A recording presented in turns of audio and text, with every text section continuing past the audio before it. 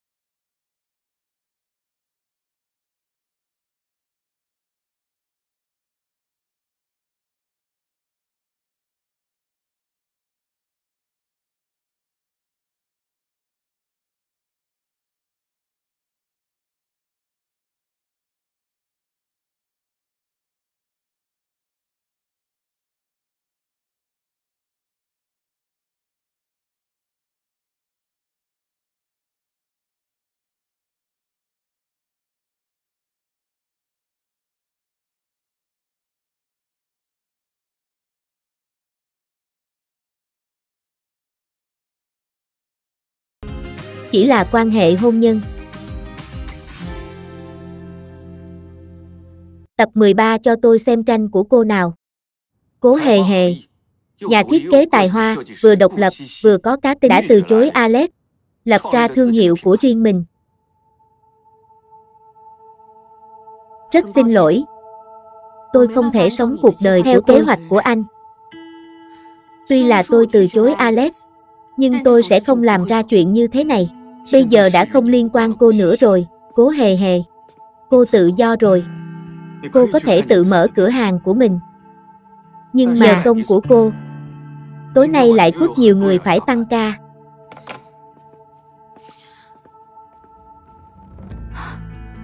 Oai môn, tình huống hiện tại càng khẩn cấp hơn ta phải đa ra phương án hay tuần tới. Mặt khác, phòng pháp chế, mọi người phải nghĩ cách tìm ra là người nào đã tiết lộ cho kênh truyền thông này. Chuyện cố hề hề từ chối Alex được, chuyện này cứ giao cho chúng tôi Còn nữa.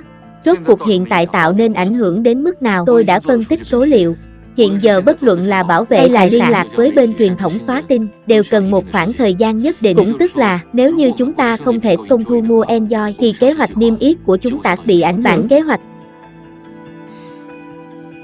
Việc nhỏ không nhịn được, việc lớn nhịn sẽ hả, chấp nhận hy sinh để trấn an một số người, tranh thủ chút thời gian cho chúng ta. Là Alex. Tôi nghĩ phương án này vẫn không khả thi lắm. Alo, anh Alex, tôi là Doãn Tư anh Thần Doãn. Lần trước tôi nghịch ta trao đổi rất vui vẻ. Nếu như không phải hiểu lầm của tôi, tôi nghĩ là tôi sẽ được đáp án khẳng định. Sao hôm nay tôi lại được tin tức thế này? Là thật sao? Anh Alex, thực sự vô cùng xin lỗi, chuyện xảy ra quá đột ngột, tôi đang chuẩn bị xin lỗi anh, nhưng sự thật không hề gì anh thấy trên mạng, đã muốn từ chối tôi, thì cũng nên nói rõ trước mặt tôi mới phải, để tôi phải thông qua bên truyền biết được bản thân bị từ chối thế tôi này. rất khó xử. Là thế này, anh Alex, khi anh đến vào thứ tư tôi sẽ thể hiện thành ý của mình anh thấy, đồng thời giải thích rõ ràng chuyện này. Thực sự vô cùng xin, lỗi, anh Doãn, lịch trình lần này quá kín, Tôi nghĩ là thứ tư tôi sẽ có thời gian gặp anh đâu. Sau này nếu có duyên ta gặp lại sao vậy? Phi ngang, tra giúp tôi thời gian chuyến bay của Alexa cánh vào tôi nhất định phải đích thân gặp được không vấn đề gì. Tính tình của Alex trong giới ai cũng biết. Xem ra lần này, tôi nhất định phải tìm được cố hề hề. Để cùng đi xin lỗi Alex. Lâm Tiểu Nhã mình xin thề với trời, mình tuyệt đối không nói với bất kỳ Hiện ai. giờ mình không biết phải làm Thực sự là có lít chẳng thể giải thích nổi. Cậu nói xem phải hôm đó ăn cơm ở quán. Mình nói chuyện to quát người khác nghe thấy không? Ngồi ở quán ăn cơm cậu nói to thế làm gì? Lỡ như chuyện Thật này sự truyền ra từ chỗ chúng thì ta. mình gây họa lớn rồi đấy. Không đúng. Vốn dĩ chuyện này anh ta giấu cậu trước. Anh ta có lỗi trước mà cậu còn quan tâm anh ta. Vốn đây là chuyện giữa hai bọn mình. Thương lượng kỹ càng là sẽ có thể giải quyết. Nhưng hiện tại đột nhiên Ly làm ầm ĩ thế này. Phải thu dọn tàn cuộc thế nào đây? Trăm năm cô đơn.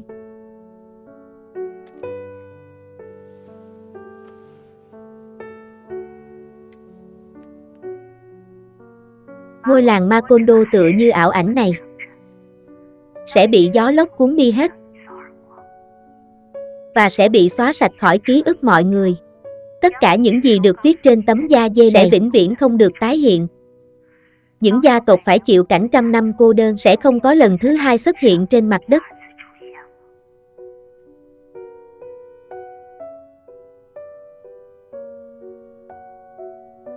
Cố hề hề, cái cô ngốc này. Thế mà cô đã ghi âm hết quyển trăm năm cô đơn. Để thưởng cho cô, à không, để khích lệ cô giúp tôi ghi âm quyển tiếp tôi theo. có thể đồng ý giúp cô hoàn thành một nguyện vọng nhỏ nhưng mà quyển tiếp tôi muốn nghe cô đọc kiêu hãnh và định kiến.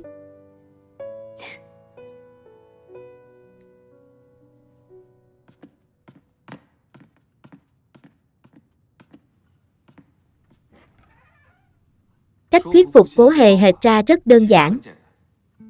Tôi chỉ cần cứ như trước kia, mời cô ấy một bữa, tặng thêm cô ấy một món quà đắt tiền, đắt đến mức cô ấy không thể tưởng tượng được. Rồi để cô ấy bất cẩn làm vỡ món quà. Đối mặt với khoản bồi thường khổng lồ, cô ấy sẽ không thể không nghe theo chúng ta. Tôi thấy cách này rất khả thi. Khoai môn, tôi trước kia quả thực sẽ làm như thế nhưng hiện tại thì không. Cố hề hề nói không sai về tôi, tôi là một tên khốn không biết đồng cảm, không từ thủ đoạn để đạt được mục đích làm tổn thương không ít người. Lần này tôi sẽ dùng tấm lòng của mình khiến cô ấy cảm động phục cô ấy cùng tôi đi gặp Alex. Phải rồi, còn chuyện này đã tìm được kẻ thông tin cho bên truyền thông rồi. Tôi đã điều tra sơ lược, trước kia hắn ta từng làm ở tạp chí hơn nữa có quan hệ thân thiết với cô nhiễm. Được, tôi biết rồi.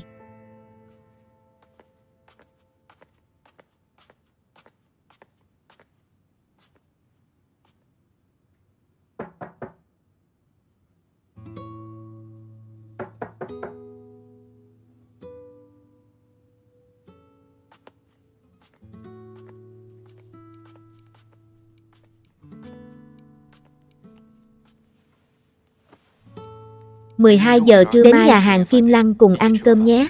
Chúng ta không gặp không về. Trăm năm cô đơn, kiêu hãnh và định kiến.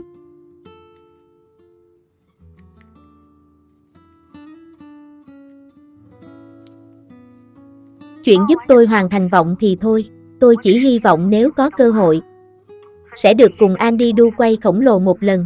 Còn liên quan đến chuyện tiết lộ tin tức lần này, có lẽ là lúc Lâm Tiểu Nhãn cơm bị người ta nghe được. Tôi xin lỗi anh về chuyện này. Nếu cần, tôi sẽ đích thân xin lỗi Alex. Được rồi, sau đây sẽ bắt đầu đọc sách. Kiêu hãnh và định kiến, chương 1.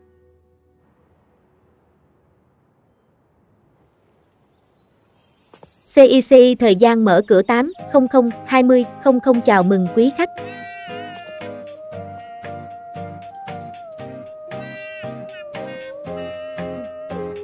3, 2, 1 Cửa hàng thương hiệu CC khai trương đại cát. Chào mừng quý khách, chào mừng quý CIC, tốt quá.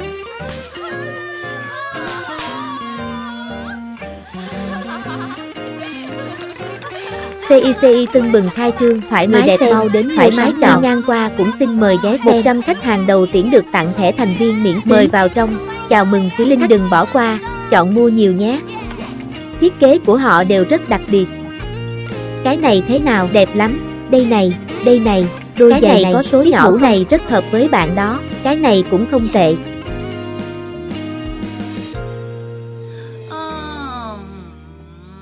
Mình mệt quá đi. Thế nào, hôm nay kiếm được không ít nhỉ? Cậu tự xem đi. Được đó, khai trương may mắn. Nếu như sau này lúc nào cũng bán chạy thế này Tất thì nhiên tốt. phải thế rồi, vì chúng ta thông minh chăm chỉ thế cơ mà.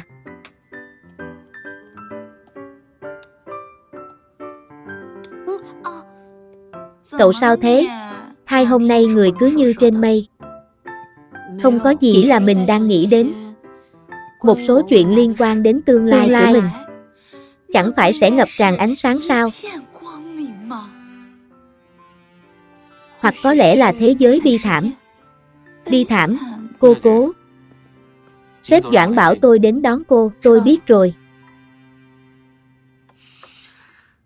Tiểu Nhã. Mình sẽ về nhanh thôi. Ánh mắt vừa nãy lúc hề hề rời đi.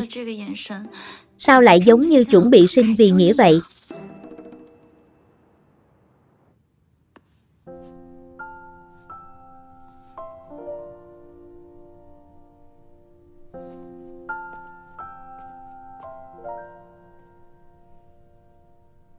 Doãn tư thần.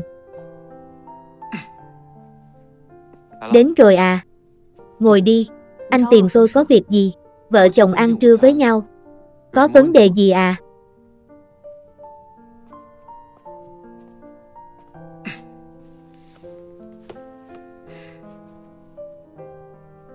Anh muốn đưa tôi thứ gì à? Sao cô biết? Lấy ra đi.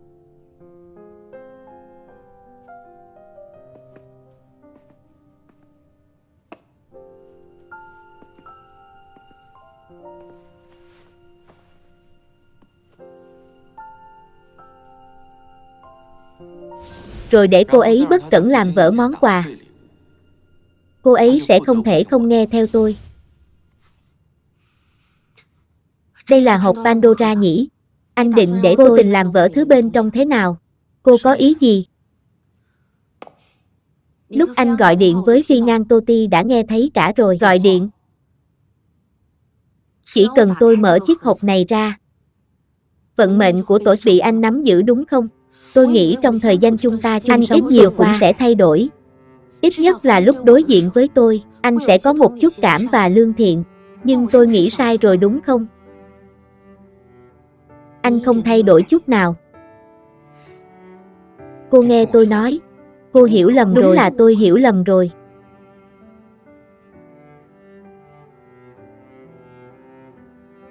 Hiểu lầm quan hệ giữa chúng ta hiểu lầm tất cả những chuyện làm khiến tôi cảm động. Có lẽ với anh, chúng chẳng có ý nghĩa gì. Đều được anh tính toán trước, chắc chắn tối hôm đốc không nghe tôi nói hết. Lúc đó ý tôi rất cảm ơn tất cả những gì anh từng làm, nhưng nếu chuyện này đáng để anh tốn nhiều công sức đối phó tôi như thế. Vậy anh không cần phí sức nữa. Tôi đồng ý với anh. Tôi sẽ tạm thời đóng cửa CIC, cũng sẽ đồng ý với yêu cầu của Alex, nhưng chỉ trong thời gian đồng của chúng ta có hiệu Đến lực. lúc hết hạn. Anh làm doãn tư thần của anh, tôi làm cố hề hề của tôi, chúng ta sẽ không còn kỳ quan hệ gì nữa. Hề hề.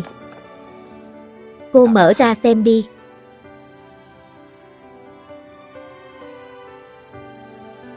Tôi không đền nổi,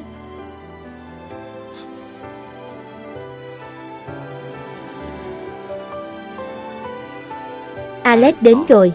Chúng ta qua đó không?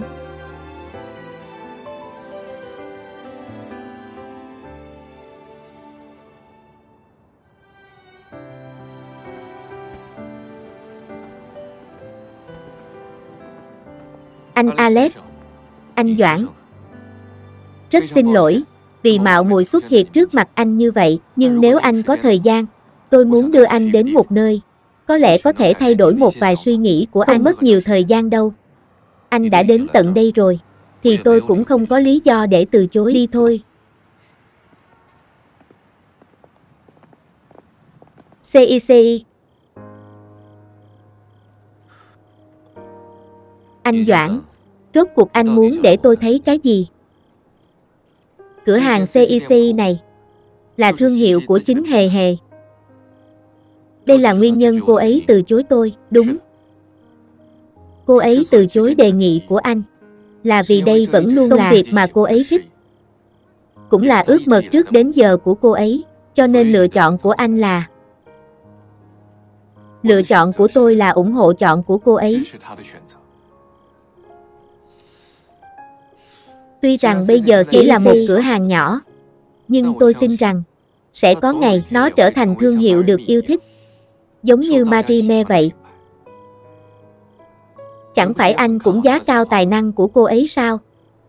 Cho nên anh lựa chọn từ bỏ Enjoy. Đương nhiên là không, tôi chỉ hy vọng anh có thể thay đổi điều kiện để hề hề làm người phụ trách. Đây là một vài phương án thay thế của chúng tôi.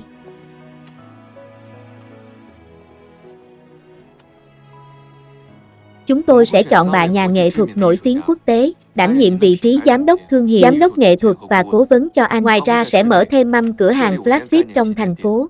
Đương nhiên, anh yên tâm sau này, thương hiệu của anh sẽ không chỉ giới hạn trong khoai môn. Còn về chuyện thu mua, tôi hy vọng có thể dùng quyền cổ đông để tiến hành trao đổi với anh. Vẫn còn rất nhiều chi tiết nói cụ thể với anh đề là Nếu anh vẫn đồng ý nghe Cô cố thật sự là một người rất có sức hút Mới một thời gian ngắn Mà dường như anh Doãn Đã có rất nhiều thay đổi thú vị.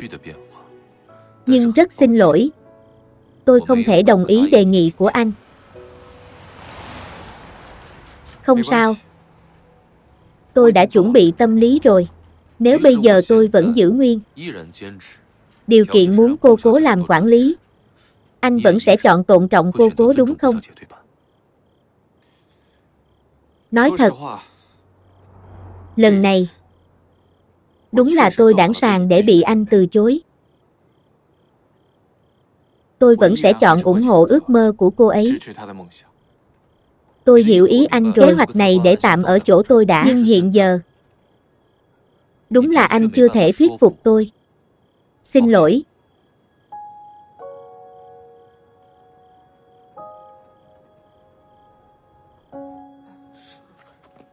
Xác nhận lại lần Được, nữa, tôi biết rồi. Xin lỗi.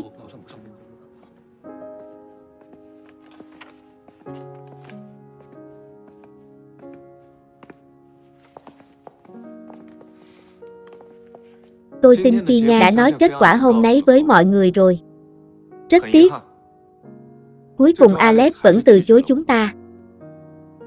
Đây không phải vấn đề của mọi người, trách nhiệm là ở tôi. Vậy nên tôi cho phép mọi Ngay người, lúc này, bất kỳ ai, nếu lựa chọn rời khỏi oai môn, thì tôi sẽ viết thư giới thiệu mọi người, để mọi người đến tập đoàn Doãn Thị. Tôi tin những người đang ở đây nhất định sẽ có thể phát triển tốt hơn. Sếp, Ami, muốn đi đâu? Tôi muốn ở lại Oai Môn. Trước đây tôi luôn rất sợ anh. Lúc nào cũng thấy Không anh là cảm. Nhưng, dám vì hồng nhan mà bất chấp, ngầu lắm. Mặc dù ở lại sẽ rất khó khăn nhưng chúng tôi tin tưởng anh vì anh đã tạo ra kỳ tích của Oai Môn. Tôi không tin anh không góp án dự phòng. Tôi đã sẵn sàng Oai Môn, tăng ca với anh rồi. Cảm ơn mọi người. Tôi đã chuẩn bị sẵn ba thương để chúng ta lựa chọn. Đồng thời đã đề cập với họ ý tưởng thu mua bước đầu. Họ cũng tỏ ra rất hứng thú. Vậy nên dù Alex từ chối chúng ta, chúng ta cũng sẽ không về tay không. Nhưng dù cộng cả ba thương hiệu này, tôi biết doanh số mà ba thương hiệu này cộng lại cũng không bằng một nửa Enjoy. Nhưng đây chỉ là kế hoạch sơ bộ. Trong nửa năm tiếp theo, tôi sẽ tiếp tục tìm kiếm thương hiệu hợp tác để bù đắp cho tổn thất lần này cãi chúng ta. Ngay từ đầu tôi đã đoán được.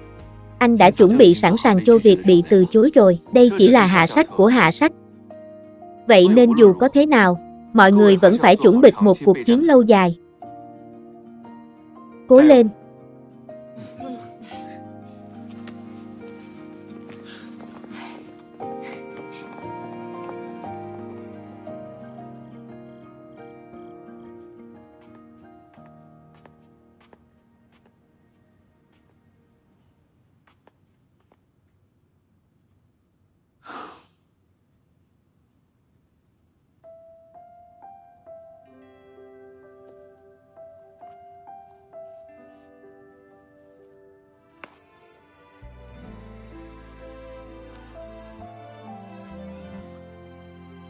như sao băng vụt qua. Bầu trời đêm bừng sáng. Sao nở để em trong phút chốc. Gục ngã ở đây.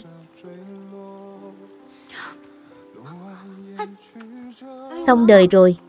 Sao vậy, tôi ném nhầm tiền xu rồi. Chắc không tìm được rồi. Đồng tiền xu này quý giá lắm sao? Đây là đồng xu kỷ niệm mà bố tôi tặng tôi lúc nhỏ. Thôi vậy. Mất thì thôi, dù sao cũng không tìm lại Mỗi được. Phút giây đều bị em chi phối. Vì trái tim anh trống rỗng.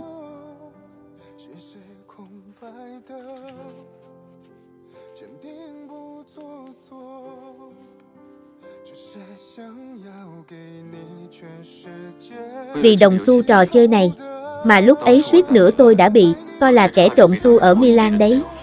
Chuyện cổ tích có thật. Vừa hay điểm yếu chính là Góc dịu dàng trong trái tim anh Dìu dắt nhau Đơn giản mà cố chấp Khiến giấc mơ của em hoàn chỉnh hơn Sao anh lại bị ho thế? Tôi không được khỏe cho lắm, có phải anh bị cảm rồi không? Cảm vặt thôi, ngủ một giấc là khỏe. Vốn muốn cho cô một bất ngờ khi quay về, nhưng nghĩ đi nghĩ lại.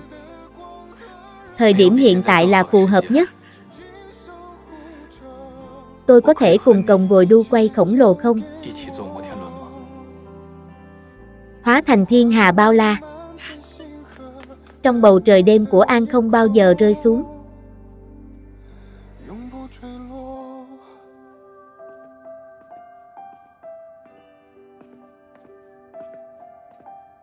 Cô cố. Anh Alex. Xin lỗi, muộn thế này rồi kình đến quấy rầy cảm ơn anh vẫn chịu gặp tôi. Cuối cùng cũng đợi được cô đến. Lần này tôi gặp anh.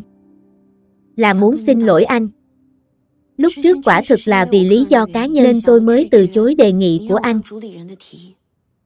Nhưng điều này tuyệt đối không phải là có ý anh hay thương hiệu của anh. Chỉ là một vài lựa chọn trong hoạch sự nghiệp của cá nhân tôi. Tôi không phải người gây khó dễ cho người khác. Chuyện cô không muốn làm tôi cũng sẽ không miễn cưỡng. Cô không cần xin lỗi. Nhưng tôi không muốn khiến anh hiểu lầm. Cũng không muốn anh hiểu lầm tư thần. Tôi không hiểu lầm hai người, tôi tin tưởng vào tài năng và sức sáng tạo của cô. Nếu cô đã không đồng ý, thì tôi chỉ đành từ chối anh Doãn. Tôi tin cô cũng biết chuyện này rồi, tôi có thể đại khái đoán được chuyện này. Tôi biết bây giờ tôi có lẽ rất không thích hợp, nhưng tôi thật sự rất muốn thử. Vì chồng tôi. Vì Doãn Tư Thần. Anh ấy thật sự đã đầu trước nhiều vào anh và thương hiệu của anh. Anh rất quan trọng với anh ấy. Thế nên nếu anh vì tôi mà từ chối anh ấy, thì bây giờ tôi có thể đồng ý với anh. Chỉ cần anh đồng ý, tôi có thể dốc sức cho thương hiệu của anh. Cô nói vậy khiến tôi rất bất ngờ. Cô cố, điều gì đã thay đổi suy nghĩ của cô? Bởi vì tôi đột nhiên nhận ra, Tư thần vẫn luôn thầm hy sinh cho tôi. Vì thế tôi không nên suy nghĩ cho mình. Tôi cũng nên suy nghĩ cho anh ấy nhiều hơn. Thế nên, anh có thể chấp nhận lời xin lỗi và suy nghĩ lại về lời đề nghị của tư thần không? Nếu tôi đồng ý với cô, thì chồng cô sẽ trách tôi. Lẽ, lẽ ra anh ép vui mới đúng chứ. Tôi đã từng đến cửa hàng anh Doãn đưa tôi đến. Rất tuyệt. Tuy chỉ là một cửa hàng nhỏ, nhưng cách trưng bày và sắp xếp của nó đều được thiết kế một cách rất khéo léo. Anh ấy nói với tôi, cho dù tôi quyết định như thế nào, thì anh ấy cũng sẽ trọng suy nghĩ của cô. Anh ấy đưa tôi đến cửa hàng của cô chính là muốn tôi hiểu về cô, tôn trọng ước mơ của cô. Cô bây giờ giống hệt với tôi trước kia. Có vô vàng kỳ vọng đối với tương lai. Thậm chí giờ tôi còn cảm thấy Lúc trước là tôi đang làm chuyện đi ước mơ của người khác. Vậy mà anh ấy nói với anh như thế sao? Tôi không nhìn lầm cả cô và anh Doãn. Hai người đều sẵn lòng hy sinh vì nhau. Nói như vậy, tôi có thể hiểu là anh đồng ý với đề nghị của tôi không? Không phải đồng ý với cùng là đồng ý với anh ấy. Tôi sẽ tôn trọng ước mơ của cô, Đồng thời tôi cũng sẽ chấp nhận án của anh ấy. Cảm ơn anh.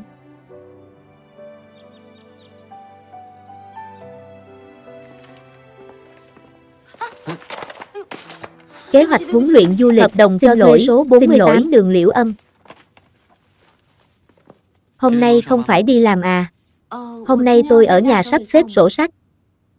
Phi ngang, tôi có thhỏi anh chút không? Vì sao công ty chắc ăn lại muốn thuê cửa hàng này? Cái này à, đây là địa chỉ cửa hàng thời gian cao của công tịch lúc trước. Tôi còn chưa kịp đưa cho tư thần xem. Sao thế? Tư thần không biết sao. Nhưng mà bây giờ, chắc là không cần cái này nữa. Alex đã từ chối chúng tôi rồi. Không chừng. Sẽ có chuyển biến đấy, chuyển biến. Có lẽ vậy. Tư thần đang ở phòng làm việc, mau đi đi. Tạm biệt.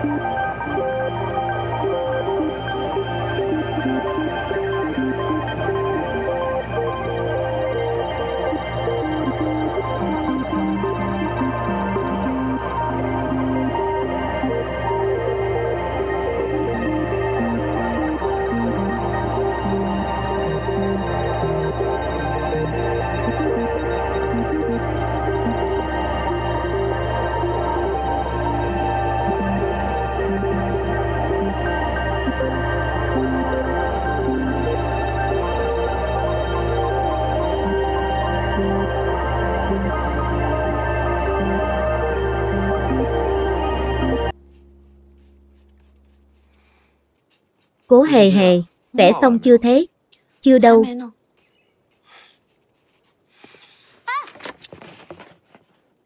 Cho tôi xem chút. Không cho. Cố hề hề. Đứng lại. Cô cho tôi xem chút. Cho tôi xem đi nào. Một người cô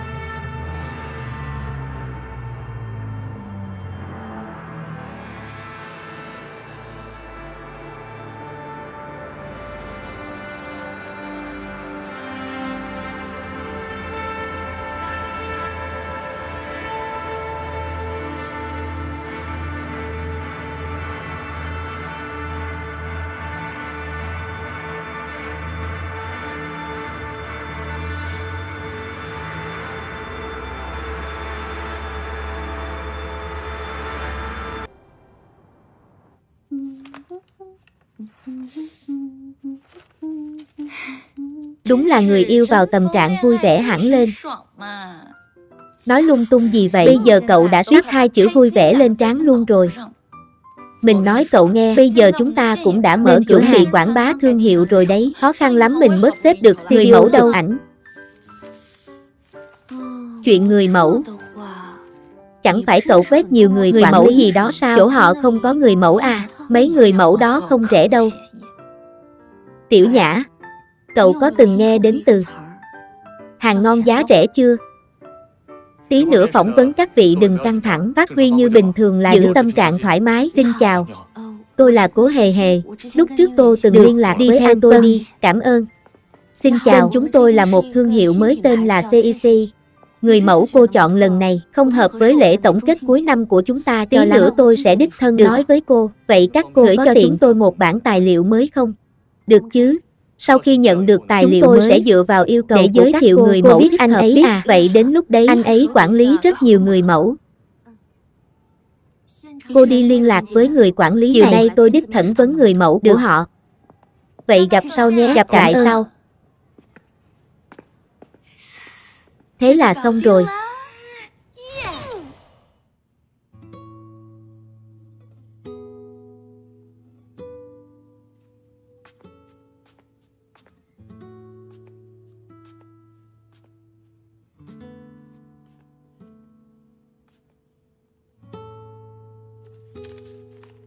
Kế hoạch chụp ảnh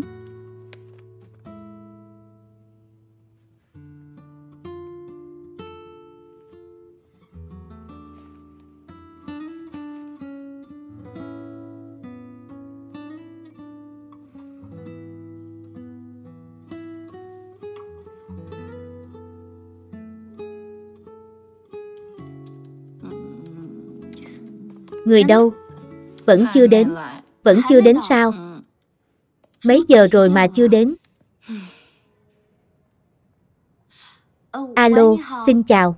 Tôi là cố hề hề quả thương hiệu CIC hôm qua. Chẳng phải chúng ta đã hẹn 10 giờ sáng nay người mẫu đến studio chụp ảnh gặp chúng tôi sao? Cái gì không đến được là sao? Được rồi, được rồi, chuyện gì vậy? Anh ta nói không đến được, bảo là có một sự kiện thời trang rất lớn, đã mời tất cả người mẫu đi rồi. Bây giờ bên đấy không, không còn ai hái niệm hợp đồng phải làm cả. sao đây? Thuê studio chụp ảnh và thuê thợ chụp ảnh một ngày tiêu uống không ít tiền đâu. Hề hề. Anh mặc. Anh nghe nói hôm nay các em nên đến đây xem thử. Sao vậy? Vẫn chưa bắt đầu à? Người mẫu của chúng tội bị người ta cướp bây giờ đang sầu đây. Chuyện này đều tại ký hợp đồng dứt khoát với họ. Bây giờ em chỉ có thể tìm có người mẫu nào thể đến luôn bây giờ không? Nhưng em cảm thấy hy vọng rất mong manh. Sao vậy? Mình cảm thấy Bây giờ đang có một tia sáng láo lên trước mắt mình.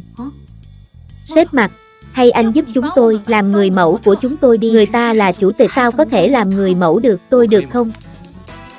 Tự tin một chút, bỏ chữ không đi. Hơn nữa bây giờ chỉ có anh thể giúp chúng tôi không còn cách khác nữa Vậy Được rồi, thật ư. Thật ư nhưng đến lúc đấy tôi chụp không đẹp Mọi người không được cười tôi đâu. đấy. Sao có thể chứ? Vậy thay đồ đi.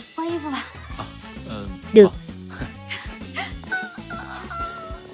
Mở cửa 10, 30 AM, 9, 30 PM Bây giờ chúng ta đến studio chụp ảnh. Phải rồi. Tôi định tỏ tình với cố hề hề. Cuối cùng anh cũng quyết định rồi Nghĩ giúp tôi một cách tỏ tình lãng mạn đi. Cách lãng mạn à. Để tôi nghĩ xem. Cậu cứ từ từ mà nghĩ.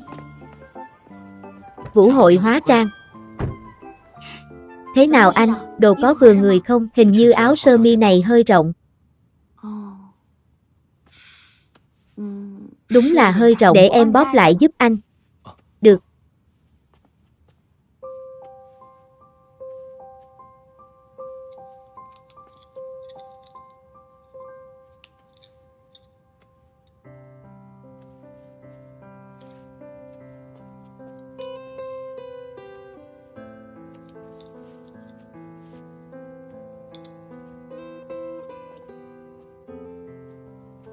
Có lẽ phải nhét chỗ này vào. Hình như ổn hơn khi nãy nhiều. Vậy mặc vest vào đi. Được.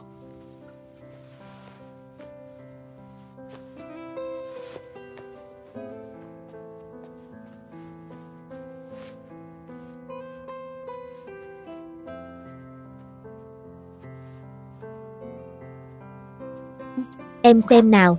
Được rồi, hoàn hảo. Ừ. Tiểu Nhã, chuẩn bị chụp.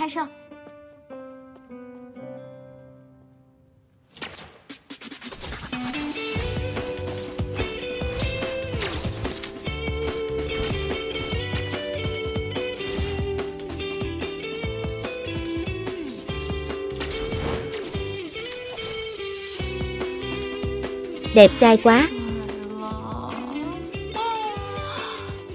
Lâm Tiểu Nhã, cậu để ý đến thể diện chút đi. Anh mặc chính là kiểu người mẫu sự nghiệp chủ tịch làm lỡ dở. Đúng vậy. Mình cảm thấy, anh ấy đẹp trai hơn tất cả người mẫu, chúng ta gặp hôm Sao qua. lại làm sếp nhỉ? Đáng tiếc quá, đúng vậy. À, mọi người nghỉ một lát đi. Vất vả rồi. Cảm ơn tôi xem nào. Thế nào? Anh thể hiện ổn chứ? Anh mặc nếu sau này hôm nào không muốn làm anh làm ơn nhất định phải làm người anh mẫu thật sự hợp lắm luôn. Vậy nếu thật sự có ngày ấy, em phải tiếp tục mời anh làm người mẫu của em đấy. Vậy e là chỉ có đợi em thành nhà thiết kế nổi tiếng rồi mời thôi. Nếu không sẽ không mời nổi mất. Xin lỗi, xin lỗi.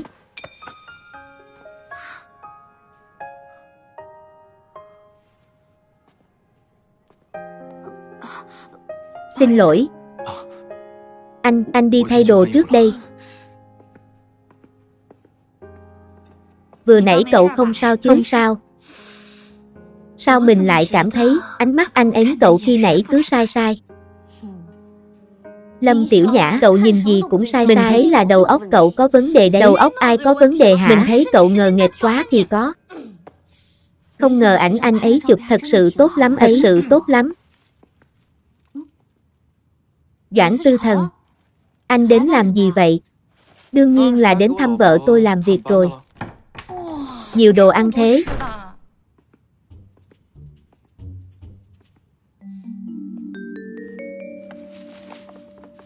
Sao anh ta lại ở đây? Những người mẫu chúng tôi đặt bỗng dưng chạy mất. Anh mặc đến cứu chúng tôi, làm người mẫu cho chúng tôi.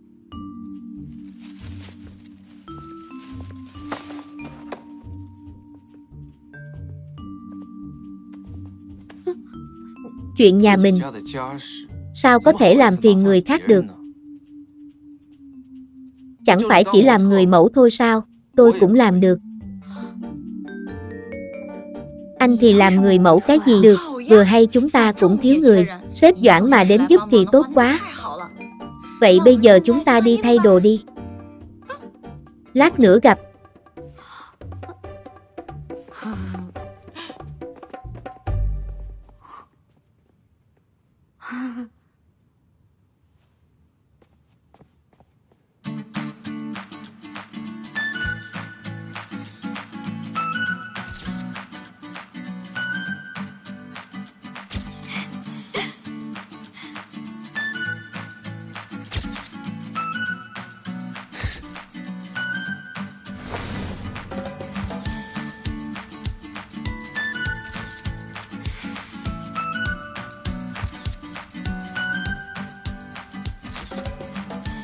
Được, được rồi, xếp mặt vất vả rồi. Nào, tranh thủ thời gian chuẩn bị bộ tiếp theo đi. Không đâu, lát nữa khi chúng ta chụp bộ tiếp theo, có thể sẽ cần anh hoạt bát tươi tắn. Phong cách thoải mái hơn một chút, khoan đã. Anh làm gì vậy Doãn Tư Thần? Câu này phải là tôi hỏi cô chứ, cô làm gì vậy? Cà vạt của anh ấy bị lệch, tôi chỉnh có vấn đề gì sao? Người phải chụp tiếp theo là tôi, có chỉnh cũng phải là chỉnh cho tôi chứ. Doãn tư thần, bây giờ tôi đang làm việc, anh không được Cố hề hề, tôi là chồng tạm thời đấy. thôi.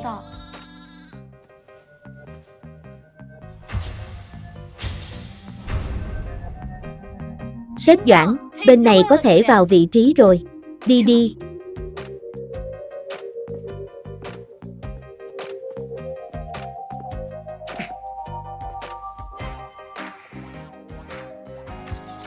Nhìn vào ống kính,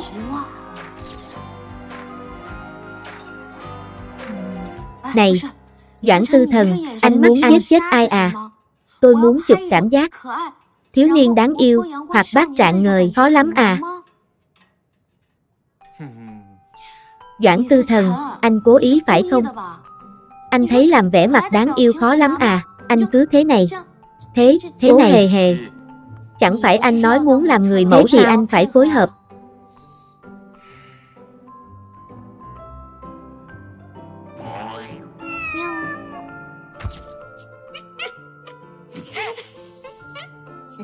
Không được, thôi, thôi, bản mặt tảng băng nghìn năm của anh chụp được cảm giác ấy đâu. Chị đạo cụ lấy cho anh ép chai coca đi. Thế này, anh tưởng tượng nhé, bây giờ anh đang điên cuồng chạy bộ. Mùa hè vô cùng nóng nực, anh đã chạy được 3 cây số rồi. Sau đó cực kỳ mệt, cực kỳ nóng, nóng không chịu nổi, rồi anh còn cực kỳ khát. Sau đó, lúc này có người đưa cho anh một chai coca vừa mát vừa lạnh, anh nóng lòng mở ra. Doãn tư thần Anh bảo tôi phải làm sao đây? Không phải, không cần hoảng hốt vậy đâu, tôi không trách cô đâu, coca đâu có bắn lên mặt tôi, tóc tôi cũng không rối Ai đâu lo nhỉ? cho anh chứ. Tôi bảo áo sơ mi của tôi phải đây là chiếc sơ mi có ở đây duy nhất, anh làm bắn cả coca lên rồi. Này, cô nghĩ xem, tôi chạy 3.000 mét vừa khát vừa mệt. Bỗng dưng có một chai coca lạnh thế này, chắc chắn tôi phải giật mạnh thế này rồi.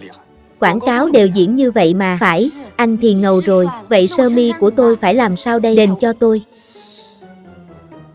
Lại muốn lừa tiền của tôi. Muốn đổ tội. Học thêm mấy năm nữa đi. Doãn tư thần, anh, anh có phải con anh người phải đền tiền cho tôi. Tôi mệt sắp chết rồi. Tôi không biết liệu có thể sống đến ngày phát tài hay không nữa. Chuyện này thì tùy cô, nhưng cô phải sống đến hoàn thành hợp đồng. Anh là ác quỷ à? Tôi không gắn gượng nổi nữa rồi.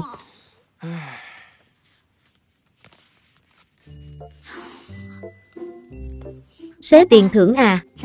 Đây là đền bù vì hôm nãy làm hỏng đồ của cô. Tiện thể cho cô chút bất ngờ nho nhỏ.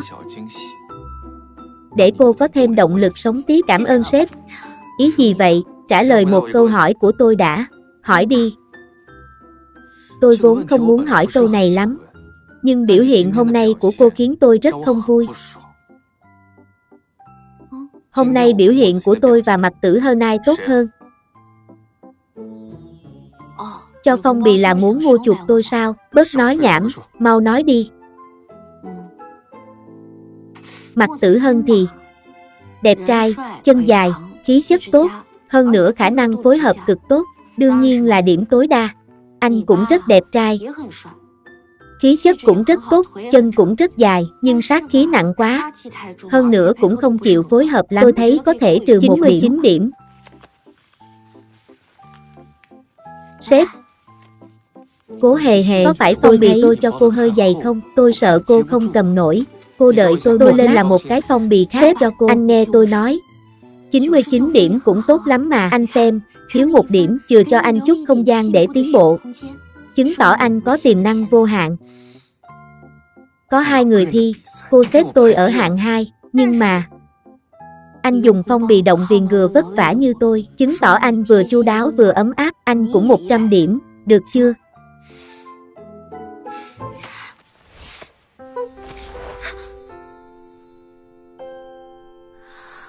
Cô nói cho rõ. Tôi và anh ta. Ai là số một? Anh, uy hiếp trọng tài là phạm quy.